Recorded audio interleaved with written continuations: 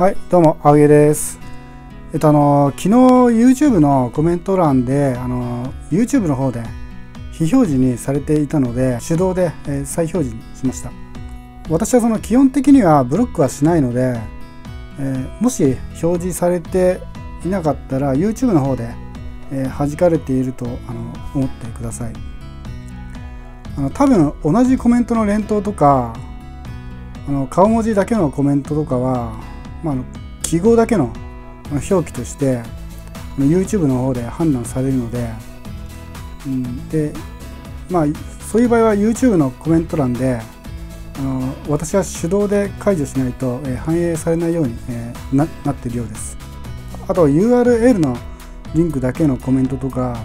はその YouTube の方と私の方で、あのブロックするようにしてます。今日はそんな感じでちょっとあの昨日気になったことについて話してみました。それではチャート分析の方していきたいと思います。今日はイーサリアム、えビットコイン、えリップル、ネム、えー IOST、エルドンドの、6通貨をチャート分析していきたいと思います。まず、イーサリアムの、えーチャートから見ていきたいと思います。えーイーサリアムの4時間足の、RSI を見てみると71、えーローソク足を見ると、えー高値超えましたね。えー日足の RSI が76、えーローソク足はアウトサイドで、えー昨日の高値超え、安値切り上げの、えー上昇のローソク足になってますね。でイーサリアムは RSI も高すぎないのでこのまま20万までいきそうですねの20万をブレイクできるかはまだわからないんですけどでこの陰線をチャンスと思って買いに走った人が、あのーまあ、下髭出してるので買ったということですね安値が1487でこれを割れたら下落加速になりますね。あのねあのまだイーサリアムは上目線でいいですね。え次、ビットコイン。えビットコインを冷やしで見ると RSI が82。安値が連日切り上がってますね。16時頃の今の時間帯でインサイドの形になってますね。4時間足を見ると RSI が71レンジ幅を確認すると安値が3万7009高値が4万8888あビットコインはねずっとレンジ幅が非常に大きいですね4時間足で見ると安値は、えー切り上がってるのとあと RSI も71で高すぎないのでまだ上昇しそうですね。なのでビットコインもイーサリアムと同じように上目線でいいと思います。えー FX やってる人は損切りポイント、安値が3万7009、えーここが損切りポイントと、まあ、利確の、えータイミングになりますね。えー次、リップル。えーリップルを4時間足で見ると、RSI が69、えーレンジ幅を引くと安値が45高値が50冷やしレベルで見ると RSI が65安値が39高値が約50、えー冷やしの方が時間軸は、え強いのでこのまま上昇トレンドラインに沿って、まあえー上昇しそうですね。RSI もの伸びしろがあるので安値39を割れば下落加速になります。まあ、リップルはまあじわじわ上げていくと思います。え次、ネム。ネムを冷やしのチャートで見ると RSI が79。えローソク足を見ると昨日の高値、上髭まで登ってそこで売り圧で落とされてますね。4時間足で見ると安値が切り上がってますね。で今日はこの2月8日の高値を更新したので、まあいい方向だと思います、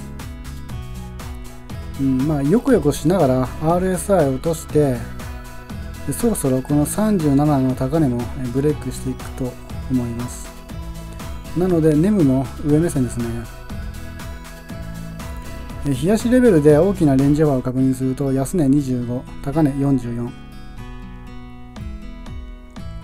ネムは44までいったんですね。で25を割ると、えー、下落加速なんですが連日安値を切り上げているのでここまで下がる可能性は非常に低いと思います。え次 IOST え IOST を冷やし RSI で見ると73えー、ローソク足を見ると今はこの2月8日のローソク足の中にいるレンジ内の動きになりますね、え、安値も切り上げてるので、えー、ローソク的には上に上がりたがってますね、えこの直近高値をブレイクできればまだ、えこの前の高値3円ブレイクに挑戦になりますね。4時間足を見ると RSI が76安値は下髭で切り上げてますね、えほとんど週足レベルでも安値切り上げているのでそろそろえ3円ブレイクしてもいいかなと思います。でブレイクしたらそこでまたえトライアングル形成後のえ流れになるかと思い思ってます。えっ、と3円ブレイク後のレジスタンスラインを確認すると3円の次は4円。で4円からが売買ゲームになりますね、えー、その次が8円。でその次が16円になります、えー、IOST も上目線ですね。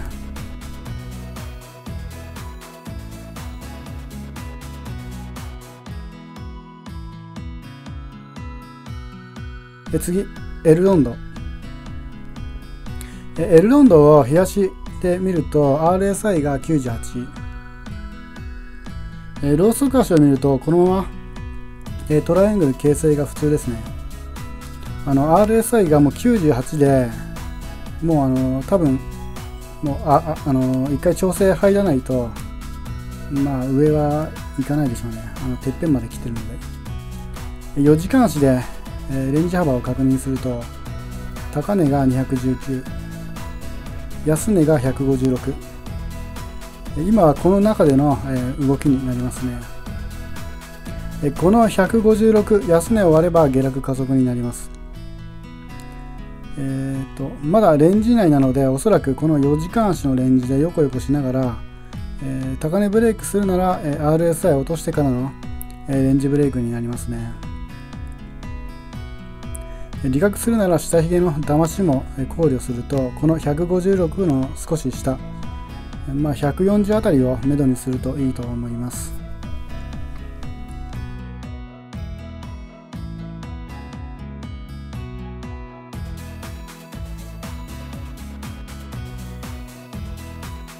はいえー、今回チャット分析した仮想通貨すべてバイナンス取引所で取引することができます